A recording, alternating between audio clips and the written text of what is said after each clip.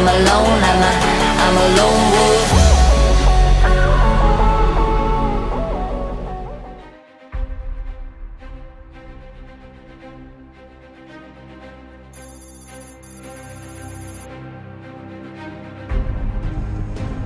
Hello guys, welcome back. Let's continue to Cabo da Roca on this relatively easy off-road track.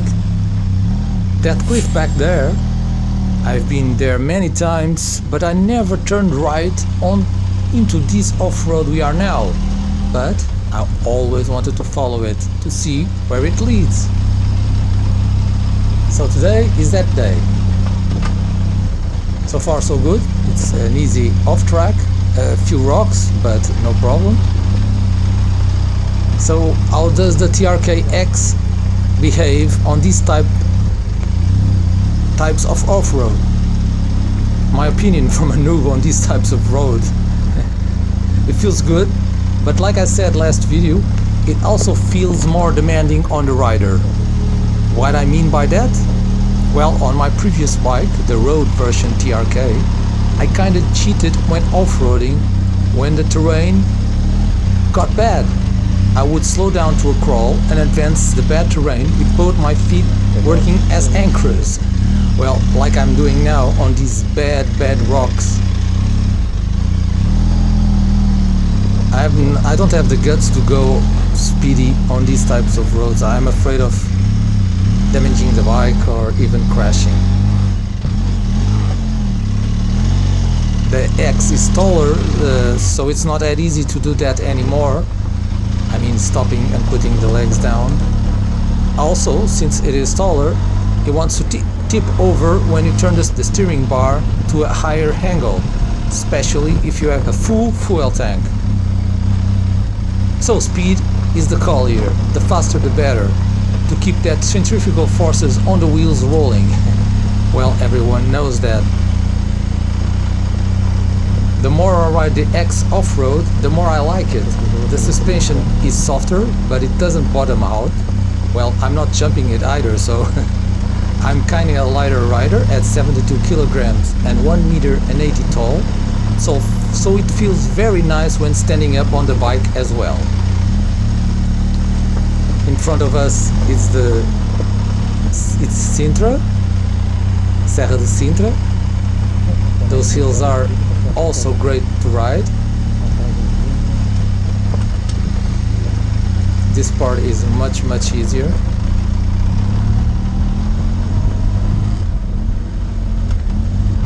The Metzeler Tourance tires are nice to start on them, but the Karoo Street I'm using now are even better on the off-road. And on the tarmac, they are even much better. I totally recommend them. Or an alternative, if you want to go more technical trails, you can opt for the Pirelli Scorpion STR or even more a true 50-50 tire, the Mitas E7 or E7 Plus. I'm trying to go away from the rocks, especially on the edge of the of this road.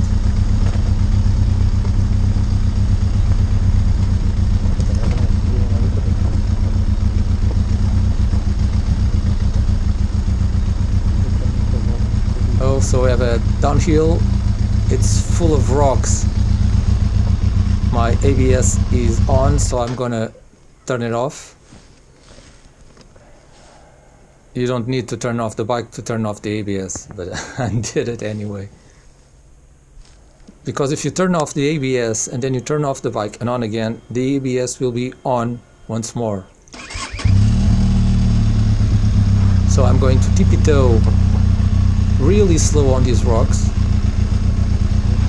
The GoPro doesn't capture the the rocks, but uh, they are really nasty for my skill anyways. Slow, nice and easy. You know me.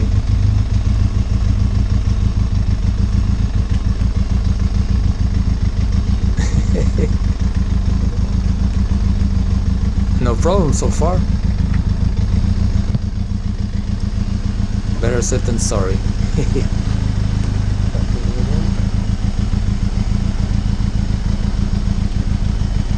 In these situations, the, the good bikes are those 250s. Like the one, the CRF. It will eat these rocks like for breakfast. okay, so obstacle done. Turning right here. And let's pick up the speed.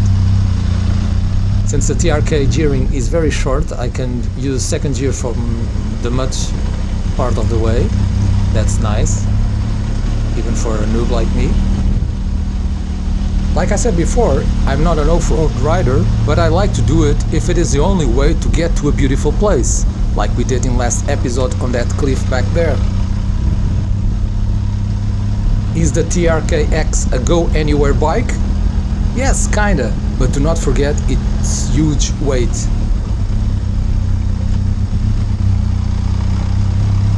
So like this we are starting an uphill. No problem. Not many rocks here, so it's okay.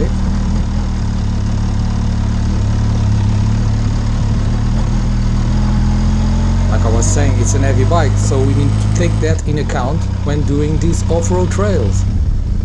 I'm gonna stop here for a bit.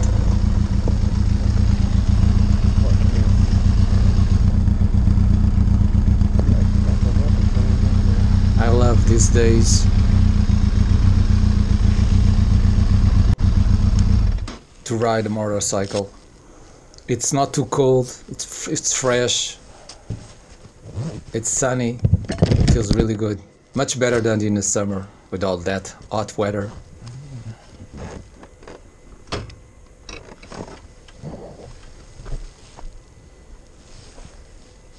Nice.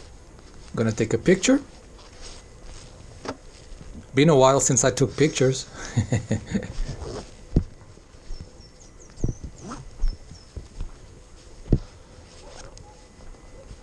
On this crossroad.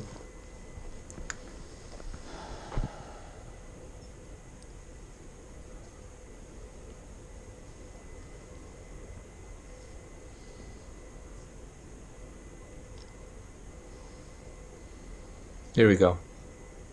So I'm not flying with the, my Sparky at the moment because I have only one battery left and I'm going to use it when we get to our destination, that Eden Beach I was talking about. I have a charger to my better drone batteries, but uh, I didn't bring it because I usually use the tank bag for that.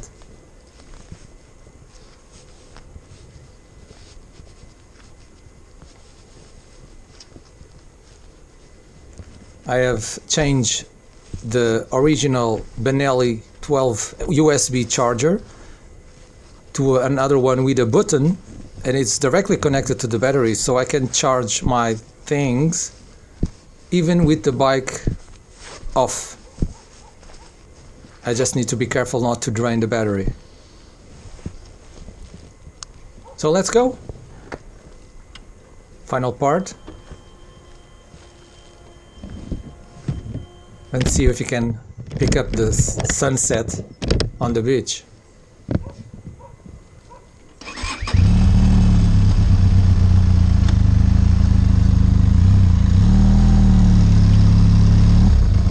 There we go, Cabo da Roca this way.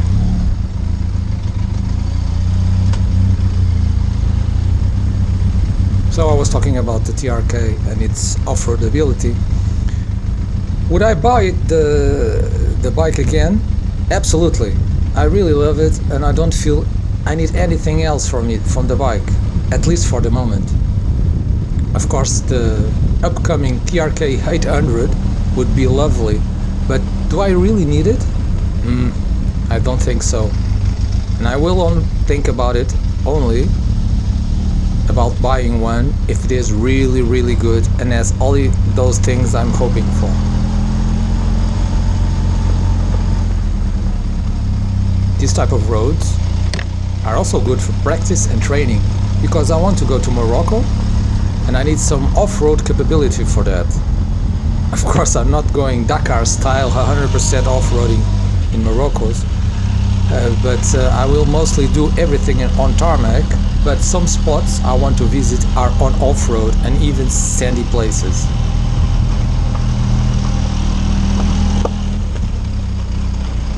That road over there should be a, an access to another cliff. I don't know about it. But this road here is in much better condition. Seems to be a lot of traffic in here. But about uh, the trip to Morocco, with this COVID situation, I had to postpone that trip for one, two years. I'm not sure I can do it in 2021 I'm hoping for, but maybe I have to stick to more close destinations. Another trip I have on my mind, and also with some friends of me, it's the Alps and northern Italy, and maybe visiting Benelli Museum in Pesaro, Italy. That would be so cool.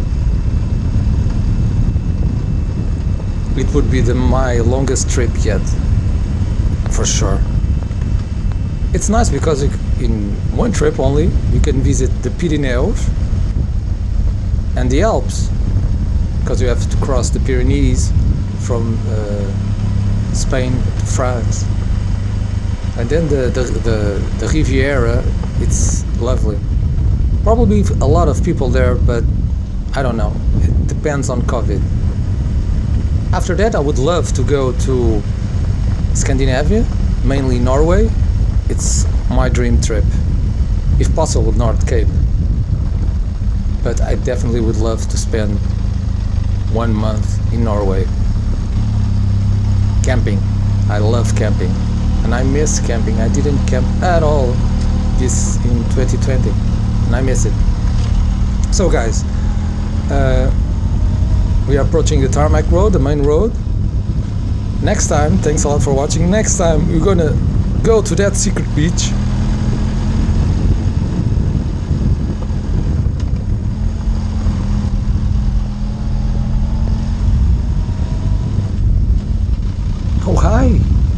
Want a lift? I only have place for one though. and ladies first. Thanks a lot for watching and see you in the next video.